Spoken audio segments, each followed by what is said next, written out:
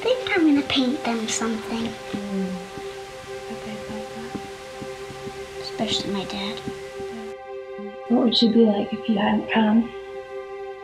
I think she would have died. I was living with no parents, with no nothing, with no basic education. There was really nothing for me. Inside an orphanage, six girls they came and they beat me with foods and I don't know what to say like this. There's thousands of graduating orphans every year in Ukraine. There's one transition home for girls that we know of. That's us. But this spans all faiths. This spans every religion. You're talking about a way of life. Do we care about each other or not?